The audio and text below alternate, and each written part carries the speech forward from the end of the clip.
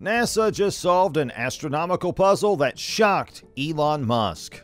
Researchers have been perplexed by a glowing blob known as the cocoon since it was discovered in 2012. It appears to be inside one of the massive gamma ray emanations from the center of our galaxy known as the Fermi bubbles, and it has baffled astronomers ever since. In recent research published in Nature Astronomy, it is demonstrated that the cocoon is brought on by gamma rays generated by extremely fast spinning stars known as millisecond pulsars that are situated in the Sagittarius dwarf galaxy, which orbits the Milky Way.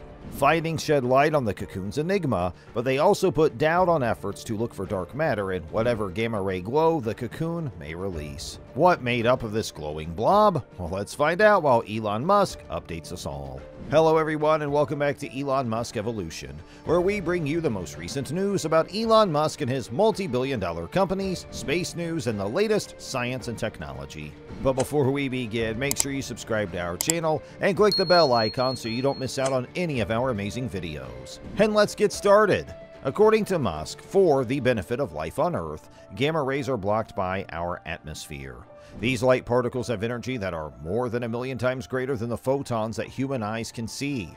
Before sensors were lofted into space, astronomers were unaware of the richness of the gamma ray sky due to the obstruction of our ground level vision. However, more and more of this richness has been made public, beginning with the coincidental findings made by the Vela satellites, which were launched into space in the 1960s to track the nuclear test ban. The Fermi Gamma Ray Space Telescope, a substantial NASA mission that has been in orbit for more than a decade, is the most cutting edge gamma ray equipment currently in use. The Milky Way and the larger cosmos have revealed a number of surprises thanks to Fermi's capacity for resolving minute detail and detecting faint sources.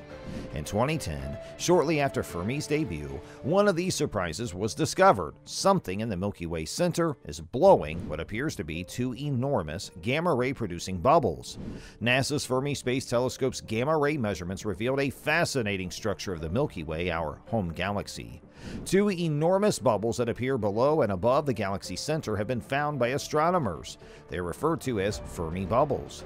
Full 10% of the sky is covered by these absolutely unexpected Fermi bubbles. A total of 50,000 light years are covered by each bubble, which is around 25,000 light years long. It may be millions of years old and cover more than half of the visible sky, from the constellation Virgo to the constellation Grus.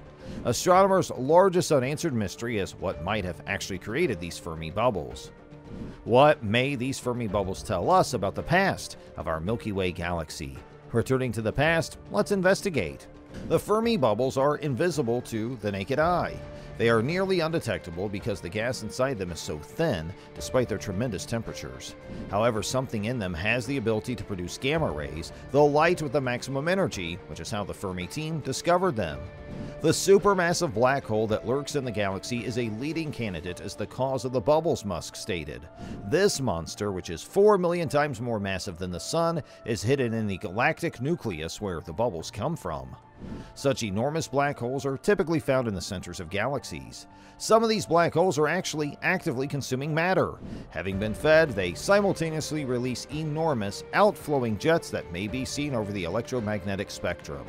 Thus, a question that came up after the bubbles were found was Can we locate a smoking gun connecting them to the supermassive black hole in our galaxy? Eventually, shaky proof did start to appear. A trace of a tiny gamma ray jet going back towards the galactic center could be seen inside each bubble. However, as more information and time passed, the image became murkier. One of the bubbles had a jet-like characteristic that was confirmed, but closer inspection made the other bubble's apparent jet appear to vanish. The bubbles appeared oddly uneven because only one had the cocoon, an extended brilliant area, while the other did not. A detailed analysis of the cocoon's nature was recently published in Nature Astronomy. Surprisingly, astronomers discovered this structure has nothing to do with the Fermi bubbles or, in fact, the galaxy's supermassive black hole. Instead, they discovered that the cocoon is actually something altogether different. Gamma rays from the Sagittarius dwarf galaxy, which just so happens to be behind the southern bubble, as seen from Earth, Musk explained. The Sagittarius Dwarf is a satellite galaxy that orbits the Milky Way. It is so named because its sky position is in the constellation of Sagittarius. The Milky Way's powerful gravitational field has literally torn apart this galaxy's remnant, which was once a much larger galaxy. In fact, the entire night sky is covered in tails made up of stars that were snipped from the Sagittarius Dwarf. High energy particles known as cosmic rays clash with the incredibly thin gas between the stars in the Milky Way, where this is the primary source of gamma rays. Do you sense a general high energy trend here? Musk asked. Astronomers believe that cosmic rays, which are high energy particles in and of themselves, are what cause the gamma rays to be created within the bubbles. These particles knock around and release the recognizable gamma rays, which are predominantly electrons but may also include some heavier guys. High energy particles can produce a variety of other things in addition to gamma rays. Sometimes, as a result of their interaction with one another in a complex subatomic dance involving matter and energy, cosmic rays can produce neutrinos, a virtually massless particle that only interacts with other particles through the weak nuclear force, which means it hardly ever interacts with normal matter at all. Therefore, something in the Fermi bubbles may be generating these incredibly strange neutrinos. The neutrinos may simply be a coincidence and actually be coming from a different region of the universe hidden behind the bubbles, or it may not be. According to Musk, additionally, though we are not entirely clear how, cosmic rays are apparently responsible for the production of all gamma rays. If we are lucky, there might be a single set of events occurring inside the bubbles that simultaneously generates gamma rays and the precise type of neutrinos that we can detect. That would be a significant improvement in describing the physics of the bubbles themselves and provide us with a wealth of information about their genesis. The gamma rays released by the Sagittarius dwarf, however, cannot be accounted for by this process. Due to the same gravitational pressure that drew so many of its stars away, it long ago lost its gas. Thus, from where do gamma rays originate? The fascinating possibility that they are a signature of dark matter, an invisible substance whose gravitational effects are all that can be seen, which astronomers believe makes up a large portion of the universe, was one of the many possibilities that astronomers thought about, Musk stated. Unfortunately, the cocoon shape closely resembles the dispersion of the stars that can be seen, ruling out dark matter as the source. The stars, in one manner or another, were the source of the gamma rays. The Sagittarius dwarf stars, however, are ancient and dormant. In such a population, what kind of source emits gamma rays? A rapidly spinning object known as a millisecond pulsar, which is the remnant of specific stars that are significantly more massive than the Sun and are also closely orbiting another star, is the only explanation, according to astronomers who are confident that this is the only possible explanation. Such binary systems can, under the correct conditions, give birth to a neutron star, which is a rotating entity that rotates hundreds of times per second and is about as heavy as the Sun but only about 20 kilometers across.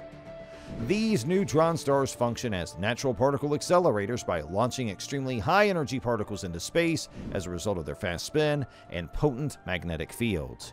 Gamma rays are then released from these particles, and astronomers discovered that the mystery cocoon's primary source was a pair of millisecond pulsars in the Sagittarius dwarf.